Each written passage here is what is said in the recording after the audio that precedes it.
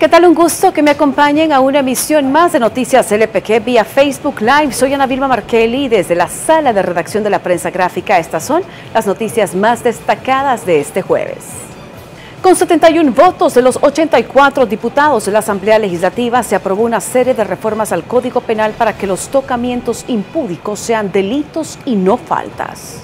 El pasado lunes, los diputados de las diferentes fracciones que pertenecen a la Comisión de Legislación ya habían realizado las modificaciones al Código Penal y este jueves 14 de noviembre pasó a pleno para su aprobación.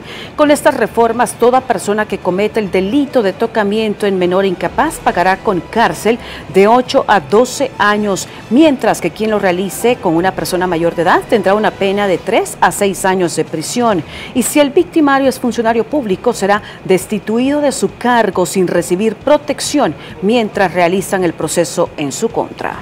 La Dirección General de Protección Civil confirmó que en la madrugada de este jueves 14 de noviembre, tres casas que se encontraban al filo del precipicio de la cárcava formada en la residencial Santa Lucía terminaron en el fondo luego de que ésta se desplomara. En la zona ubicada en Ilopango, varias viviendas habían sido desalojadas desde el pasado 14 de octubre, luego que autoridades decretaron el lugar como inhabitable. En la Cárcava se realizarán obras de mitigación, las cuales se ejecutarán en siete meses y tendrán un costo de 4.5 millones de dólares.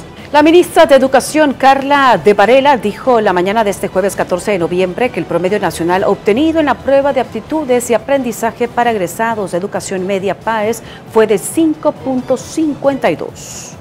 En el año 2018 la nota fue de 5.66, lo que refleja 14 centésimas menos para este año.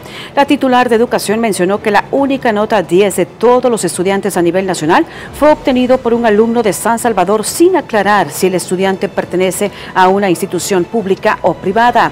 En total fueron 79.934 estudiantes de 1.224 centros educativos los que se sometieron a la prueba, siendo el Departamento de la Unión donde se obtuvieron las mejores notas. En segundo lugar está San Salvador y en tercero Chalatenango.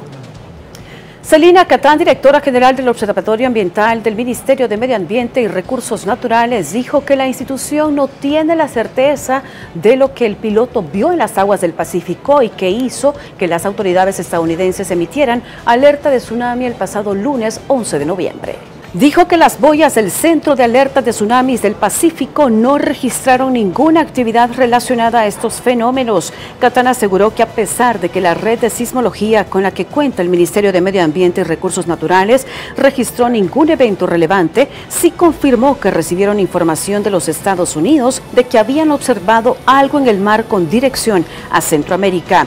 Agregó que afortunadamente no se registró ningún hecho que pusiera en peligro la vida de los salvadoreños, sobre todo de aquellos que viven en las zonas costeras del país.